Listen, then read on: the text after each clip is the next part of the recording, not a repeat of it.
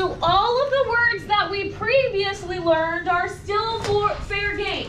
So if we read something like a number, what do we write down?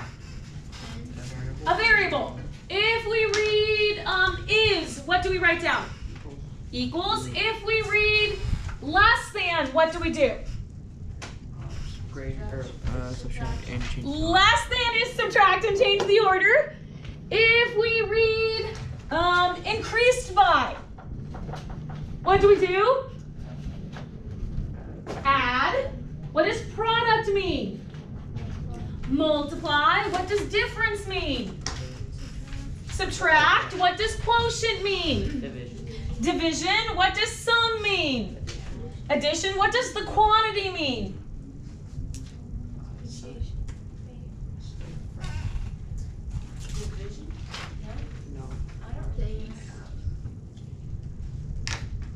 The front side of that paper. Oh, um, What does what mean? some numbers, variables, and operations indicating that these items next to, wait, need to be grouped together. Keep going. Sometimes, oh, using parentheses. Right? We need to group them together, usually using parentheses. Now, we talked about that there were some situations where we didn't actually have to write the parentheses. Okay, but you can't really go wrong if you put the parentheses. So the quantity, we're grouping them together with parentheses. Okay, we are then adding to our list these four terms that we were just talking about in the POD, where we should be noticing that every single one of these has is in front of it.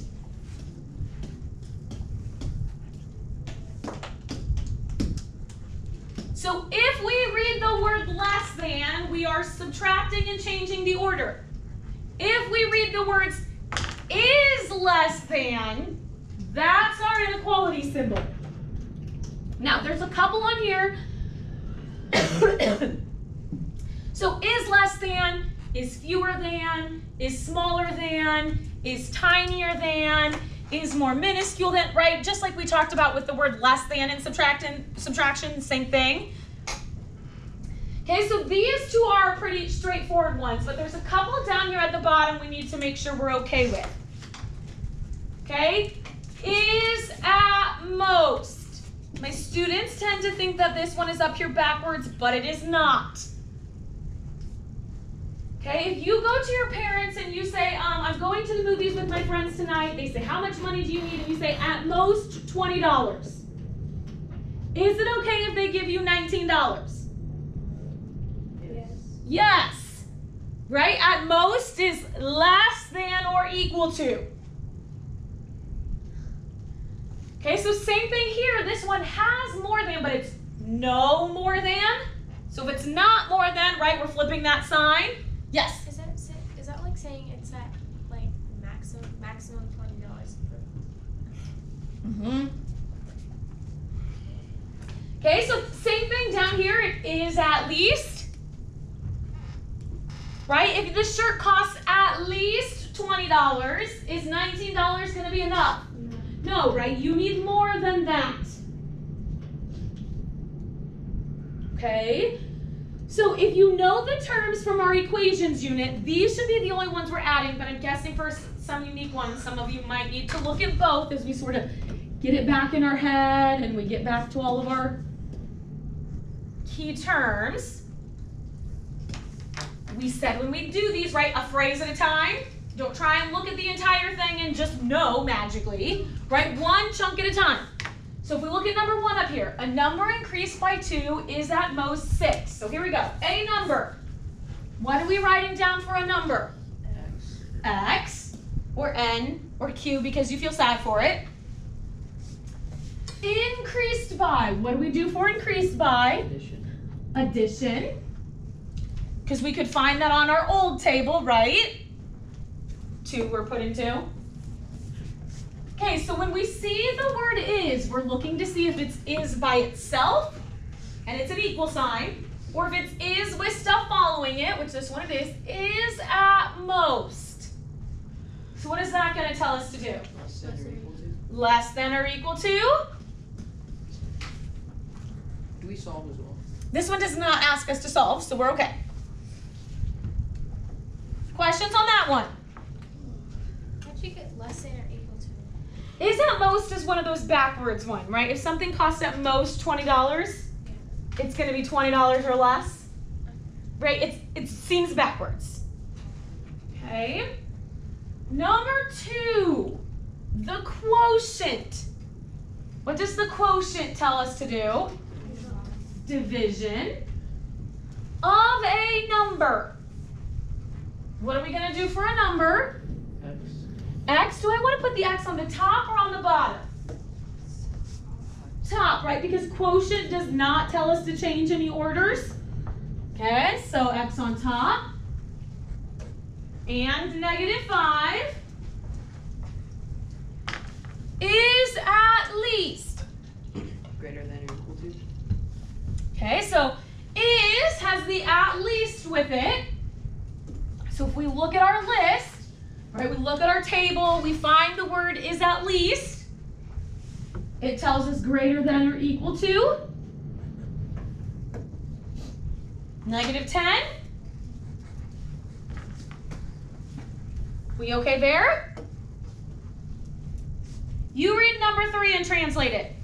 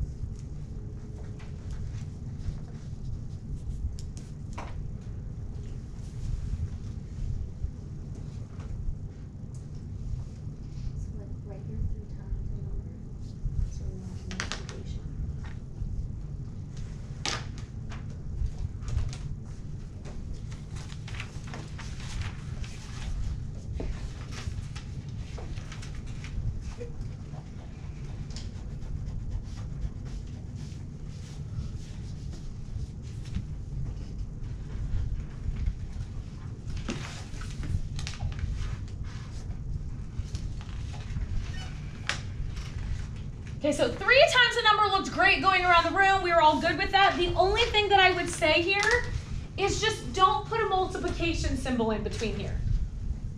Right? It will confuse you if you are asked to solve it. Don't put a multiplication symbol if you don't need one. Okay, is more than, so is more than is the same thing as greater than. The difference, what does difference tell us to do? Is difference a reason to change the order? No. No. So we're doing subtraction, twice that number and three. So we're not changing the order. Twice that number tells us to keep the same number. Are we doing okay? Okay, flip your paper over. You do the next one.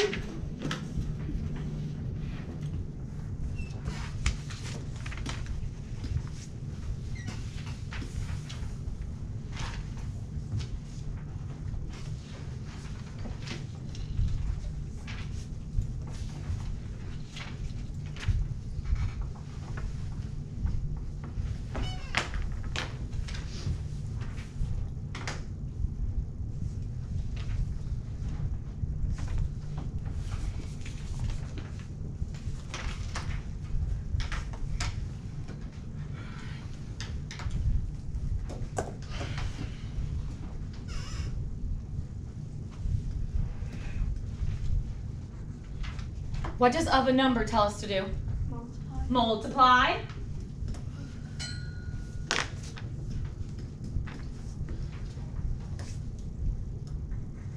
So we're here. Two thirds y is less than or equal to negative 10. We okay on that one? Okay, so let's look at five together. Four more than a number. What am I doing for four more than a number? Four had less than. 4 plus n, n plus 4, right? Because the order of addition doesn't matter. Divided by 3. What is getting divided by 3 here? Four plus two. The whole entire thing? No, just. No, just the, the number. Just the number, right? Because this doesn't tell us anything with the quantity. We don't see two operations sitting next to each other. So we have four more than a number divided by three. So, I mean, that's the idea, right? But you could have it flip flopped. This tends to be how we start writing. They're like, oh, we have to put on that division? Yes. Why isn't it four plus n and everything over three?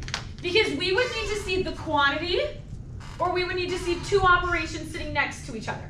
So here we have a number divided by three, as opposed to the quantity of four more than a number divided by. Oh, okay. Does that make sense? Is at least, what are we doing for is at least? Greater than Greater than or equal to that number.